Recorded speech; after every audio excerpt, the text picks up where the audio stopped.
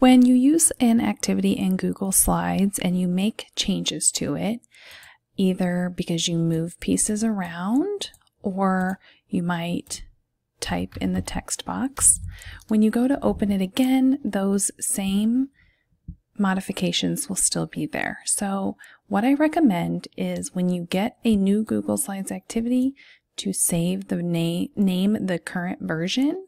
And you do that by going to File, Version History, Name Current Version. And you might call it Original.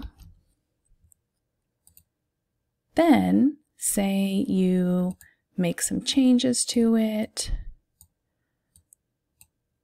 like this. You type in the text box. And then if you want to go back to the original version, you would go to File, Version History, See Version History, and you're going to click on the right side where it says the name of what you named it.